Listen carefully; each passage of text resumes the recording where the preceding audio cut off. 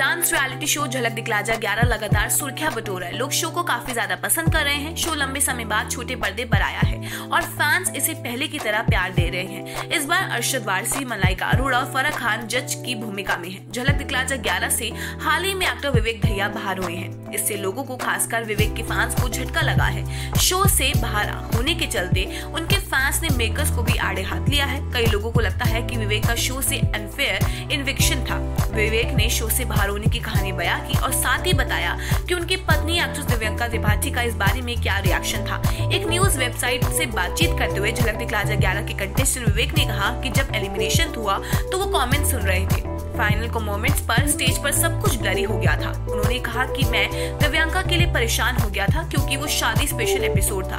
जब नंबर आए तो विवेक ने सभी को हक किया और चले गए। विवेक एलिमिनेशन के लिए तैयार नहीं थे। उन्होंने कहा कि मेरी फैमिली भी इसके लिए तैयार नहीं थी। मैं इस शो के लिए डबल शिफ्ट कर रहा था। उन्होंने कहा कि इस ब्रेक के लिए उन्होंने लंबे समय से इंतज़ार किया। और ये एक बहुत अच्छा अवसर था। मैं खुद को साबित करने आया था। जब वो घर पहुँचे तो वो वहाँ से दिव्यांका थी।